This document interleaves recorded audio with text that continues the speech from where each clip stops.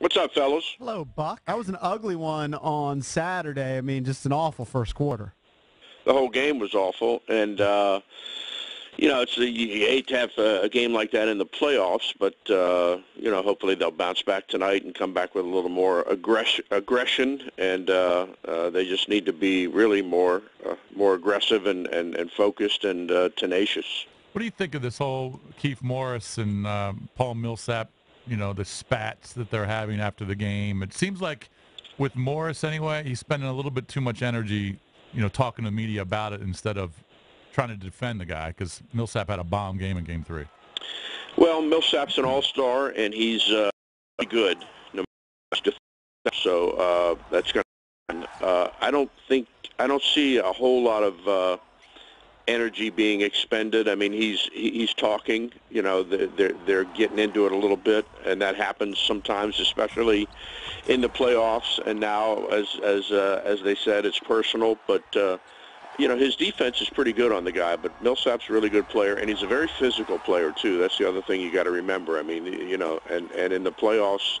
The way the guys, these guys referee the games, uh, you never know how they're going to call it, but they tend to let them be a little more physical. So, um, uh, you know, I'd like to see Kieff get a little more involved offensively and get some rebounds, and he needs to, you know, start getting some points. He's struggled the last couple of games, but uh, defensively, I think he's still he does as good a job as you can do. The guy's a really good player. Yeah, we were talking about this earlier that if Scott Brooks and the Wizards are going to change their approach, I wonder if they would consider throwing more double teams at him or just forcing him to hit the jumper because it seems like they're biting on his pump fake over and over again. Make him hit some outside shots. Well, as Mike Budenholzer said, who's their coach, you got to pick your poison with us. Uh, you know, the first game they did a really good job. The first two games of defending the three and keeping Atlanta's percentage at like 26% from three-point range, which is good because the Wizards have struggled doing that. But then you get inside play, or you get a guy like like uh, Millsap who can back you down or whatever, and points in the paint is a problem. So uh, you know you you got to figure out who you're going to cover. Is it going to be him, or are you going to try to? I think they're going to try to put a little more pressure on uh, Dennis Schroeder, who's really hurt them. I mean, he's been good. He's quick. He's like Wall in the sense that he can get past you, and he's gotten in the paint a lot, and he's finishing, which is really good. He's he's a hell of a player. So. Mm-hmm. Uh, I think they need. I think they're going to plan to maybe put a little more pressure initially, not let him just stroll across midcourt and uh, and find guys because that's what he's been doing, and uh, and he's he's he's a tough player. He's having a heck of a series. Hmm. John's having an unbelievable series. I mean, I think he's fifth in all of uh, the NBA in the playoffs here in scoring, shooting a ridiculous percentage. Uh, and, and, Bradley's scoring, but he's, he's, shooting a low percentage, really struggling from threes. Is there is there something going on there that we don't know about, or is just sort of a bad stretch for him?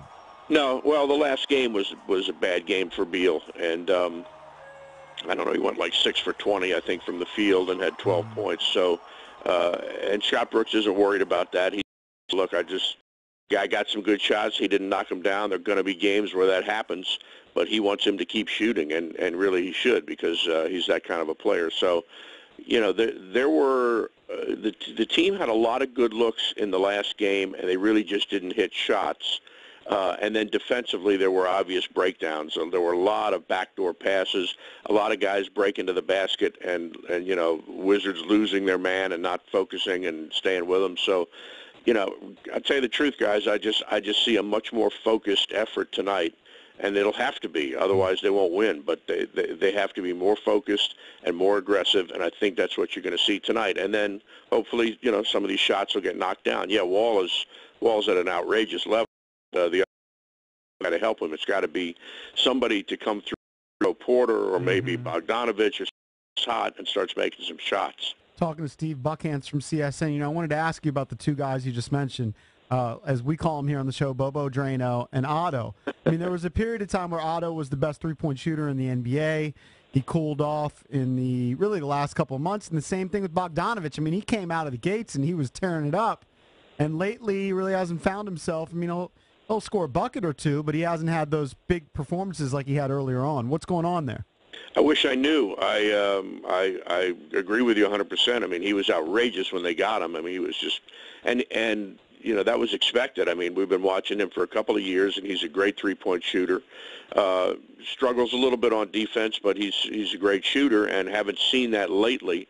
So I don't know whether it's the fact that he just isn't getting really good looks, or he's just not knocking them down, or he's he's pressuring too much. I, I don't know.